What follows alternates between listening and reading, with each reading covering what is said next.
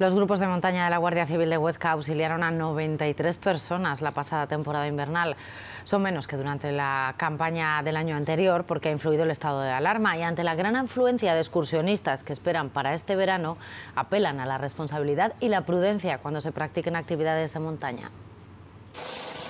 63 intervenciones de la Guardia Civil y 93 personas rescatadas son las cifras que deja la temporada invernal en las montañas oscenses. Una campaña que ha durado menos de lo habitual por la crisis sanitaria. Comparando la temporada anterior, los rescates han descendido casi un 25% y el número de heridos desciende en 32, aunque la tendencia en los primeros meses fue ascendente. Llevábamos hasta febrero 58 rescates, mientras que en el mismo eh, periodo del año anterior eh, llevábamos 40 como ven, eh, un sensible eh, incremento que nos hacía prever eh, probablemente que este año pues, las cifras de intervenciones en montaña aumentaran significativamente. Para la temporada de verano que ya ha comenzado, la Guardia Civil de Huesca refuerza sus unidades y añade un segundo helicóptero de rescate. Todo para actuar ante un verano en el que se espera una mayor afluencia de público en la provincia oscense. Estamos hablando de territorio seguro, de territorio de calidad de,